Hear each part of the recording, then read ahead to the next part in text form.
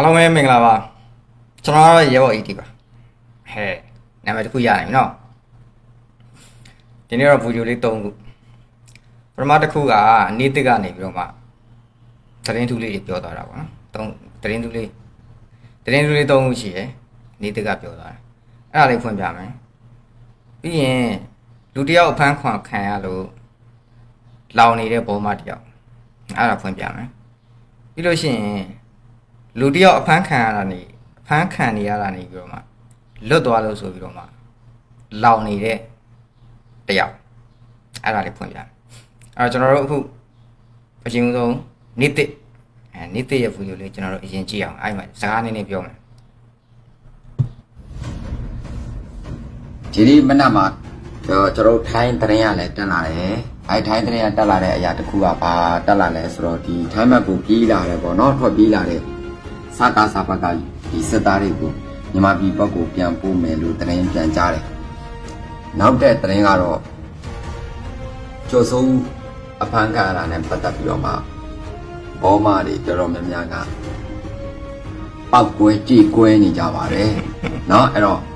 အာပေါက်ခဲကြည့်ပေးနေကြတယ်အဲ့ဒါလေးတွေလည်းဒါကျွန်တော်တို့ live ပေါ်မှာတွေ့ရပါတယ်လို့เนาะအဲ့တော့ခွာတော့ပြေးကုန်ပြီနောက်တဲ့သတင်းဒီနေ့မနက်ထူတာကဒီ အောက်ကြီးတွေပေါ့နော်တော်တော်များများနှုတ်ထွက်လာကြပြီလို့ဒါကျွန်တော်တို့ကြားသိရပါတယ်ဒါတော့ဒီနေ့မနက်ခင်းရဲ့ထူးခြားတဲ့သတင်းလေးတွေဖြစ်ပါတယ်ကျေးဇူးတင်ပါတယ်ဒါပထမသတင်းဟာထိုင်းဘက်ကဟလာထိုင်းဘက်ကိုအစုလိုက်ပြုံလိုက်ထွက်ပြေးကြတယ်ဟုတ်ပါပြီအဲ့တော့အဲ့မှာ video file ထဲမှာကျွန်တော်တွေ့လိုက်ရပါတယ်ဒီထိုင်းစစ်သားတွေရဲ့ရှေ့မှာဝင်ရတော့မှောက်ပြောမှာနော်လူတွေကလည်းစုပ်ပြတ်တတ်နေတယ်နော်လူရုပ်မပေါနော်အဲ့တော့ ကျွန်တော်တို့ဒီစစ်တပ်ကနေပြီးဂျင်းထဲစစ်တပ်ကနေပြီးတော့ဟိုဝါရာမိုင်းတိုက်တာရှိတယ်သူတို့ကဒေတာတွင်းမှာအင်အားဘယ်လိုကြီးတယ်ဘယ်လိုစစ်တပ်ကြီးပေါ့နော်အများရန်ဝါရာမိုင်းတိုက်တယ်တမိုင်းအစင်လာနဲ့သူတို့ကပြောပြီးဝါရာမိုင်းတိုက်တယ်ပေါ့နော်ဒါပြန်ကြည့်လိုက်တော့အလောင်းမင်းတရားတို့ပါတော့ပေါ့ဗျာအဲ့တော့ကျွန်တော်ကတော့အလောင်းမင်းတရားကိုကျွန်တော်အားမကြောက်ဗျာဘာဖြစ်လို့လဲဆိုတော့လူတစုကလူတစုကလူတစုပေါ်မှာတွားပြီးအနိုင်ကျင့်ဆိုးမိုးတဲ့လောက်ရက်ကို ကျွန်တော်တို့လက်မခံကျွန်တော်တို့ဒီဘက်ခက်ကလူတွေလက်မခံအဲ့ဒီအတွက်ကြောင့်မို့လို့အဲတိုင်းပြည်ကျွန်တော်တို့ဒီမြန်မာပြည်ကိုစီးလုံးမှုရှိအောင်ပြန်လဲစုစည်းတာကိုတော့လက်ခံတယ်ဒါပေမဲ့ကိုကတခြားတိုင်းပြည်ကိုတွားပြီးတခြားလူမျိုးကိုတွားအနိုင်ကျင့်တဲ့တမိုင်းကိုတော့ကျွန်တော်တို့ကမကြိုက်ဘူးကျွန်တော်လက်မခံဒါပေမဲ့စစ်တပ်ထဲမှာကအဲ့ဒီတမိုင်းကြီးရှိနေပါတော့အဲ့ဒီချင်းနေပြီးနေပါဟာသူတို့ကဒေတာတွင်းမှာဘလို့အင်အားကြီးတယ်သူတို့မြန်မာစစ်တပ်ကဘလို့ဘယ်နဲ့ဘယ်ညာပေါ့နော်အများကြီးဒါ ပြောခဲ့တာရှိရောဒါပေမဲ့ဒီကနေ့မင်းအောင်နိုင်လက်ထက်မှာအဆက်ပြန်ပြန်ကွဲတာပေါ့နော်တခြားနိုင်ငံရဲ့စစ်သားတွေရဲ့ရှေ့မှာနော်ဝင်ရတို့မှောက်ပြီးတော့မှကြောက်ရွံ့အားငယ်နေတဲ့မျက်နှာတွေနဲ့ဒီလိုမျိုးနေရတဲ့အနေအထားမျိုး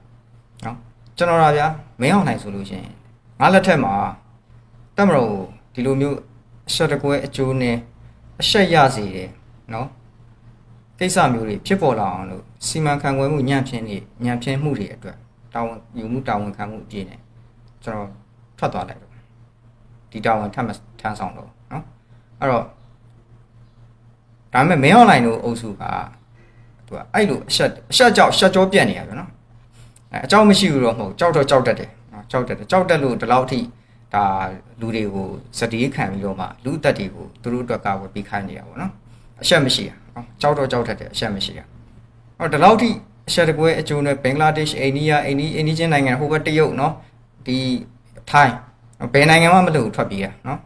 အဲ့တော့ဒီလောက်ချက်စရာကောင်းတဲ့စီမံခန့်ခွဲမှုမျိုးနဲ့ဗျာကိုတက်ကိုတောင်ကိုအင်အားတောင့်တင်းအောင်တောက်ပြောင်အောင်မလုပ်နိုင်တဲ့လူတစ်ယောက်ကတိုင်းပြည်ကိုအုပ်ချုပ်ဖို့စဉ်းစားရဆိုယူနေလို့ပေါ့နော်ယူနေလို့ပေါ့ကိုကိုကိုငါဘလောက်ရည်ချင်းရှိလဲဆိုတာအဲ့ဒါပေါ်နေပြီနော်အဲ့မှာဗျာကျွန်တော်တို့ဆိုကိုယ့်မျက်နှာကိုဓာတ်နဲ့လိမ့်ပါဗျာကာဝေးရေးဦးစီးချုပ်ဗျာ နိုင်ငံတကာနိုင်ငံတနိုင်ငံရဲ့ကာဝေးရေးဦးစီးချုပ်ဗျာကိုလက်အောက်ကစစ်သားတွေဗျာသူများနိုင်ငံရဲ့စစ်သားတွေရဲ့ရှေ့မှာဗျာဝင်ရတော့မှောက်ပြီးတော့မျက်နှာငယ်လေးနဲ့စုပ်ပြတ်ပြီးတော့မစားရမတော့ရဘဝတွေနဲ့အဲ့လိုမျိုးနေနေရတဲ့အနေအထားမှာဗျာဘာဖြစ်လို့အဆက်မဲ့ဆိုတာဒီခုံမှာထိုင်နေသေးလဲအဲ့တော့ဘောမတွေကိုပြောချင်တာကနော်ခင်ဗျားတို့ကိုးကွယ်နေတယ်ခင်ဗျားတို့ဘဘကြီးနော်ခင်ဗျားတို့ကိုးကွယ်နေဘဘကြီး အဲ့ဒီလောက်ထိအရေးချင်းညံ့ပြင်းပြီးစုပ်ပြတ်တတ်နေတဲ့ခေါင်းဆောင်တယောက်ကိုခင်ဗျားတို့စက်မနေအောင်မယ်ဆိုလို့ရှိရင်ခင်ဗျားတို့ချစ်ပါတယ်ဆိုတဲ့အောက်ခြေကစစ်သားတွေကတောက်လျှောက်နောက်ထပ်ဒီအတိုင်းထပ်ဖြစ်နေအောင်မှာပဲဆိုတာဒါ message ပေးချင်တာပေါ့နော်အဲ့တော့မင်းအောင်လိုင်ကိုခင်ဗျားတို့ကဂုံတိတ်ခါခင်ဗျားတို့ချစ်တဲ့မင်းအောင်လိုင်တက်မလို့ပေါ့နော်တက်မလို့ဂုံတိတ်ခါကြားမှုလေခင်ဗျားတို့တရားစွဲဖြုတ်ချနော်ခင်ဗျားအဲ့လိုတော့ရမှာဟုတ်ပြီလားအဲ့တော့ခင်ဗျားတို့ဆက်ပြီးမနေမယ်ဆိုရင်တော့ခင်ဗျားတို့အိမ်ရှိကိုပါ အခုလည်းရောက်နေပါပြီနော်ရောက်နေပါပြီခင်ဗျားတို့အိမ်ရှိကိုတကားလာခေါင်းနေပါပြီအန်အန်ဒီအေရီဟာလားအော်ဆက်မကြပါနော်ဆက်မကြပါအဲ့တော့မရင်မရင်နဲ့အမလွန်တော့ကျော်စိုးဦးလည်းပါသွားပြီနော်ကျော်စိုးဦးလည်းပါသွားပြီနောက်ပြီးတော့ခုနကနေတဲ့ထဲမှာပြောသွားတာအုတ်ကြီးတွေထွက်ကုန်ဟုတ်တယ်အုတ်ကြီးတွေထွက်ကုန်ပြီဟိုတနေ့ကတန်တွဲဒီနေ့ဆက်ကြတာမြောင်နော်မြောင်မှာအုတ်ကြီးတွေကလုံးဝဒီစစ်မှုထမ်းကိစ္စနဲ့ပတ်သက်ပြီးဘာမှမလုပ်ဒါပြတ်ပြောပြီးသားနော်မြောင်မှာသတင်းထပ်ကြားတယ် အဲကျွန်တော်တို့မြေပြန့်မှာရှိနေတဲ့လူတွေကတော့ကြောက်ကြောက်ရတာလည်းပါတာပဲဗျာမလုပ်ချင်တော့လဲလောက်ရတာလည်းပါမှာပေါ့နော်နောက်အဲကိုကိုတိုင်ကတက်တက်ကြွနဲ့လှုပ်ချင်တဲ့ကောင်တွေလည်းရှိမှာပေါ့နော်အဲကိုကိုတိုင်ကတက်တက်ကြွလှုပ်ချင်တဲ့ကောင်တွေကတော့အန်ရရှိတာပေါ့ဟုတ်လားအဲ့တော့သက်ဆိုင်ရာ local တွေကလည်းတတိပေးထားတယ်အုပ်ကြီးတွေကိုနော်အဲ့တော့တိုင်းပြည်ကိုဒုက္ခပေးမဲ့ကိစ္စမျိုးကိုခင်ဗျားတို့စက်မလုပ်ကြပါနဲ့နော်အဲ့ဒါကအုပ်ကြီးတွေကိစ္စပေါ့အဲ့တော့ခုနပြောသလိုဘောမတွေပေါ့နော်ဘောမတွေအခုတော့ကျော်စိုးပါသွားပြီနော်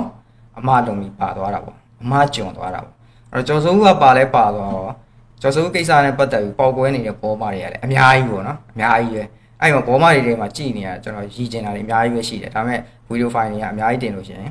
အချိန်တွေကကြာမှာမဟုတ်လို့ကျွန်တော်အဲလူတွေသိမ့်မသိတဲ့ဘောမတယောက်လူတွေသိမ့်သိတဲ့ဘောမတယောက်ကိုကျွန်တော်တင်ပြမယ်အဲ့ဘောမကကောင်းတမထားတယ်နော်ကောင်းတမထားအဲ့ဒါလေးကျွန်တော်တို့အရသာခံပြီးကြည့်မယ်နော်အဲဒီကမိတ်ဆွေတွေလည်း အဲ့ဒီလူကိုသိလို့ရှိရင် comment တွေမှာတစ်ချက်ရေးပြကျွန်တော်အဲ့လူနာမည်ကိုမသိဘူးပြတဲ့ဒါပေမဲ့မြင်နေတာတော့ကြာပြီတွေ့နေတာတော့ကြာပြီအဲ့လူအဲ့ဒါလေးတစ်ချက် request လုပ်ပါဟုတ်ကဲ့ကျွန်တော်တို့ video ကြည့်လိုက်အောင်ကောင်းဆောင်ကောင်းပေါ့ဗျာကောင်းဆောင်ကောင်းရဲ့ကောင်းဆောင်ကောင်းရဲ့ကောင်းဆောင်ကောင်းဆိုတာကတော့ကျတော့မင်းကောင်းပေါ့ဗျာမင်းကောင်းပေါ့ကောင်းဆောင်ကောင်းရဲ့ကောင်းဆောင်ညံ့နေပေါ့ဗျာကောင်းဆောင်ညံ့နေကောင်းဆောင်ရုပ်တွေဒီအကြောင်းတွေပြောချင်တာပါဗျာဒီနေ့ကျော်စိုးအတွက်လောင်မေးတာပေါ့ဗျာ အဲကြောင့်လဲဆိုတော့နေ့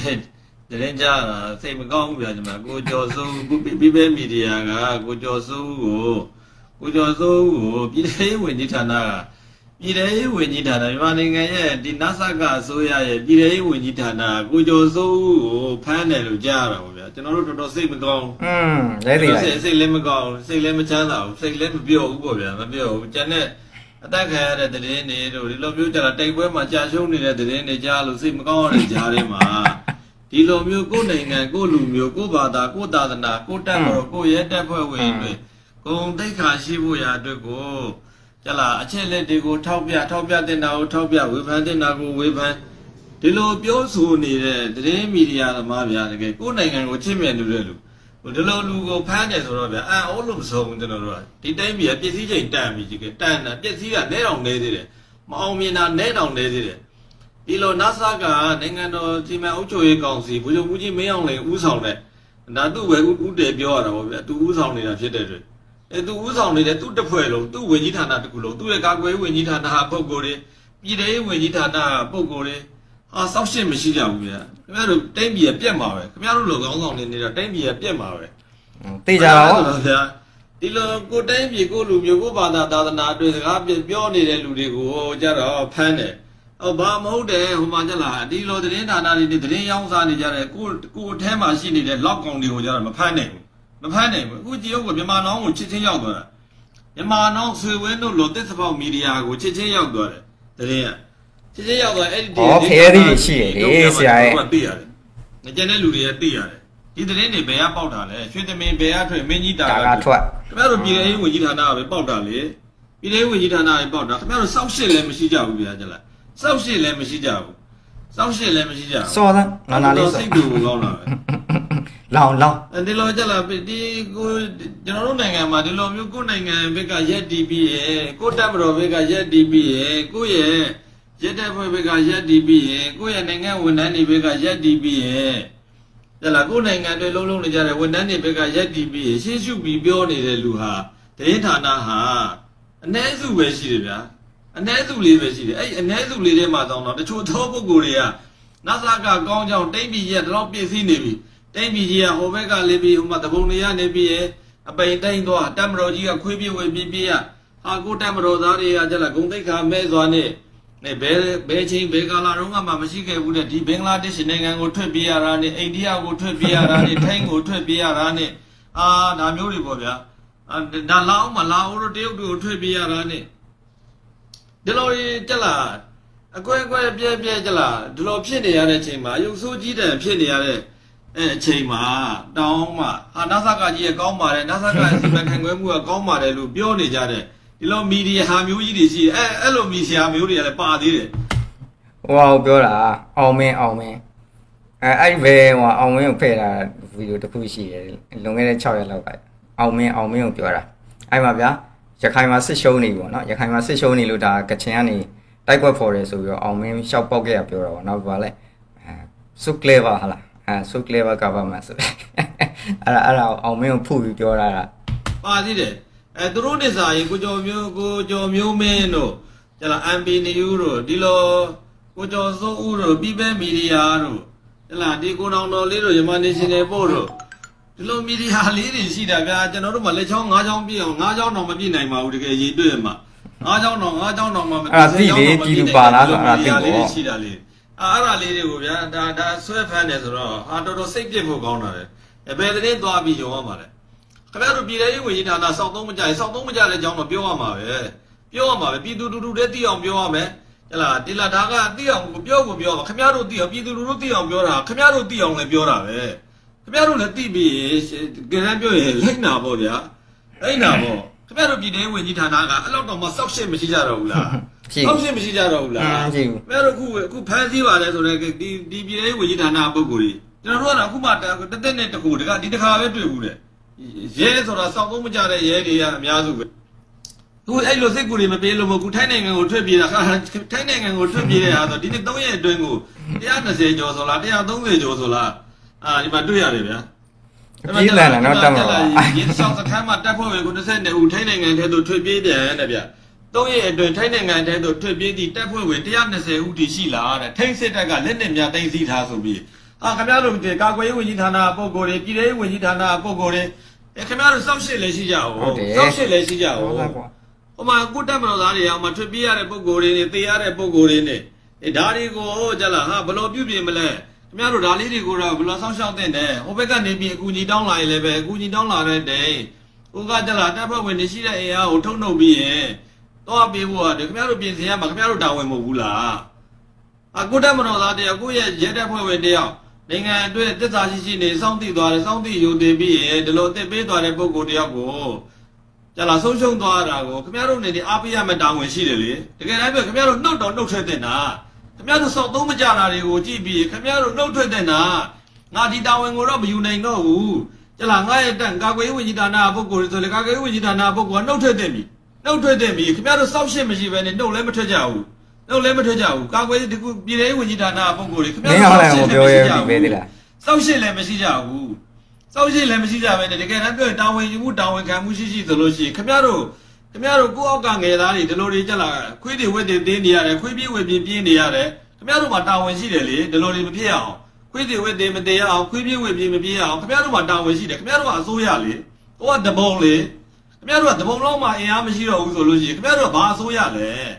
ဘာအစိုးရလဲခင်ဗျားတို့ကအဲ့ခင်ဗျားတို့စောက်ရှစ်လည်းရှိကြအောင်ဗျာခင်ဗျားတို့စောက်ရှစ်လည်းရှိကြအောင်အဲမှာလည်းခင်ဗျားတို့ရဲ့ခေါင်းဆောင်ကောင်းအရေးချင်းခေါင်းဆောင်ကောင်းအရေးချင်းဟောဗုဒ္ဓဘာသာနိုင်ငံဗုဒ္ဓဘာသာအာဗုဒ္ဓဘာသာတာထွန်းကောင်းလုပ်နေပါလေလို့ပြောနေပြီးရင်ဗုဒ္ဓဘာသာရဲ့ခေါင်းဆောင်တွေရဲ့စိတ်တဲ့ဘယ်မှာလဲဗုဒ္ဓဘာသာခေါင်းဆောင်တွေရဲ့စိတ်တဲ့လောင်းနေတာလောင်းနေတာကျော်စိုးကိုဖမ်းလို့လောင်းနေတာ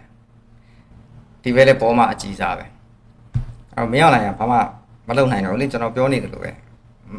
ဒီလောက်ဗျာဒီလောက်ကြီးဖြစ်နေတာဗျာအမှန်ထွက်သွားမှာဒီဘက်လည်းမပြောရဘူးမရောက်နိုင်ထွက်သွားပါဆိုအမှန်တကယ်မရောက်နိုင်ထွက်သွားခိုင်းရမှာနော်မရောက်နိုင်ထွက်သွားဒါပေမဲ့မရောက်နိုင်ထွက်သွားရင်လည်းဒီဒေါ်လာကြီးကမပြီးသေးပါဘူးနော်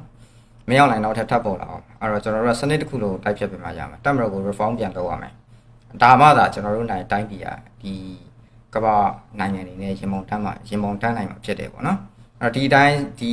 အမျိုးရုပ်တက်မတော်ရှိနေလို့ကတော့ကျွန်တော်တို့တိုင်းပြည်ကဒီလိုပဲမွဲပြကြနေမှာဒီလိုဒုက္ခဒုက္ခတွေနဲ့နော်အပူမီးတွေတောက်လျှောက်လောင်နေဦးမှာပဲနော်အဲ့တော့ဘောမတွေလည်းကြိတ်မကြပါဟုတ်လားမိုင်မိုင်အမလုံပြီးတော့ဟိုမပူတူတူပါလို့လာအောင်မယ်ဟိုတနေ့ကကြောက်ပြင်းတို့ထမိန်တို့ပေးထားတာနော်အဲအဲ့ဒါပါလဲနိုင်ငံတော်အကြီးအကဲစော်ကားမှုနဲ့တို့ပါလို့လာလိမ့်မယ်နော်အဲတတိယထားနေသေးလားကျော်မျိုးမင်းအောင်နည်းနည်းအတန်တိတ်သွားတယ်ကျော်မျိုးမင်းကနည်းနည်းလေးလေတန်နည်းနည်းရှော့သွားတယ်ဒီကောင်လည်းသဘောပေါက်တယ်ကြလားအဲ့တော့ကိုလုပ်တဲ့အလုပ်ကမှန်ကန်သလား မှားနေသလားတေချာစဉ်းစားပါတော့နော်ကိုတင်ထားတဲ့ခေါင်းဆောင်ကိုယုံကြည်ထားတဲ့လူတယောက်ကလည်းကိုယ့်ရဲ့တိုင်းပြည်ကိုဘယ်လောက်ဒုက္ခပေးနေလဲဆိုတော့ခင်ဗျားတို့သိဖို့လိုတယ်အဲ့တော့စစ်တပ်ထဲကလူတွေလည်းနော်ခင်ဗျားတို့သိဖို့လိုတယ်ခင်ဗျားတို့သူများနိုင်ငံရဲ့စစ်သားတွေရှိမှာခွေးပြေးပေါ်ပြီးပြီးပြီးအဲ့မှာမှောက်ရတို့မှောက်နေရတယ်မျက်နှာငယ်လေးနဲ့ဘဝမျိုးတွေခင်ဗျားတို့ခင်ဗျားတို့မရှက်ဘူးလားဗျာရှက်လို့ခင်ဗျာကိုကိုတက်သေးပလိုက်မှာခင်ဗျားတို့သဘောပေါက်လားအဲ့မှာသွားပြီးတော့အဲ့တော့ကို ပြည်သူရှိမှာကိုပြည်သူအချင်းချင်းတိုင်းသားအချင်းချင်းမှာလက်နဲ့ချမှာဒါမျိုးသွားလုံတာကိုတိုင်းသားအချင်းချင်းကိုပြည်သူအချင်းချင်းကိုပြည်သူဘက်ကိုရက်တီပြီးတော့မှလက်နဲ့ချမှာပေါ့ဂုံတိတ်ခါရှိတယ်ပြည်သူကဂုံယူနေမှာပြည်သူကလက်ကမ်းကြိုဆိုနေမှာအခုခင်ဗျားတို့ကဲဒီထိုင်းစစ်တပ်ကပြောပြီးဟာကွာဒီကောင်နေစတန်နဲ့အာမီလို့ပြောနေပြီကြည်ပေါင်းကွာစုပ်ပြတ်တက်နေမှာအာကာထုံးပေါင်းမီနေအောင်ဖနက်ကမပါဟမ်ယူနီဖောင်းကအပြည့်စုံမရှိဘူးမှာသူများစစ်တပ်ကစမတ်ကြသလားမင်းနဲ့ very hot ကိုဟာကော့နေအောင်ဆောင်းပြီးတော့မှာဟာလားဟမ် တာဝန်ထမ်းဆောင်နေတာမြန်မာစစ်တပ်ကကောင်နေကြည့်လိုက်အောင်နော်လမ်းဘေးကတရောင်းစားအောင်မှာသူတို့တက်တာအောင်မှာဟာလားထိုင်းထိုင်းကဟိုတရောင်းစားတော့သူတို့တက်တာအောင်မှာနော်စုပ်ပြတ်တက်နေတာနော်အဲ့ဒါကိုမြန်ပြစောက်ချက်ကိုယ်ခံကြော့ပါတယ်အချက်ကိုယ်ခံပြီးတော့မှာဒီဘက်ကိုပြေးလာသေးတယ်ဟိုကကိုတိုင်းသားတွေကိုညီကိုတွေရှိနေတာပဲနော်လက်နဲ့ချလိုက်ကိုဘလို့ဘလို့ဖြစ်လို့အဲ့တုံးနေရလဲမသိခုပြန်ပို့မယ်တေးပြီးအဲ့ကောင်နေနော်အေးအေးယူခံရမှာအဲ့ကောင်နေအေးအေးယူခံမှာယာရုံတက်တော့ဘူးနော်အဲကန်ကောင်းရင်အဲ့အထက်အရာရှိတွေကပြုတ်မယ်နော်ပြုတ်မယ်အောက်ကကောင်တွေကစားပကက်ညှိမယ်ဒီကောင်တွေ စစ်မှုတန်းကောင်းလို့ဘာလို့မစင်စားထားပါကောင်နဲ့စစ်မှုတန်းကောင်းလည်းရမယ်ကောင်တွေမဟုတ်ဘူးဘာဖြစ်လို့ဆိုတော့တက်မလို့ reform လုပ်မှဖြစ်တဲ့အတွက်တက်မလို့မှာတာဝန်ထမ်းဆောင်တဲ့ကောင်တွေကတော့ဘာမှအကျိုးခံစားမှုရှိမှာမဟုတ်ဘူးအဲ့တော့ကိုယ့်အတွက်အကျိုးခံစား권ရှိခြင်းလို့ရှိရင်ပြည်သူနဲ့ sorry ကပူပေါင်းပါနော်အဲ့ဒါအကောင်းဆုံးဖြေပဲဟုတ်လားနော်အခြေအနေကိုရိပ်ရိပ်စားမိဖို့လိုအပ်တယ်အခြေအနေကိုရိပ်စားမိဖို့လိုအပ်တယ်အဲ့တော့လူတယောက်လွတ်သွားလို့လူတယောက်ကနော်တော်တော်လေးကိုကြည်ကွဲပြီးတော့မှစိုးရင်တကြီးနဲ့ထပြောလိုက်တဲ့လူတယောက်ရှိတယ်အဲ့ဒါလေးတစ်ချက်ကြည့်အောင်ဗျ ထိုင်းမှာအဖန်ခံရတဲ့မိုက်ကယ်ကျွန်တော်တို့အားလုံးသိပြီးသားအဲ့ဒီမိုက်ကယ်ကဒီနေ့သတင်းထပ်ထွက်လာတယ်မိုက်ကယ်လွတ်သွားပြီဆိုတဲ့သတင်းထွက်လာတယ်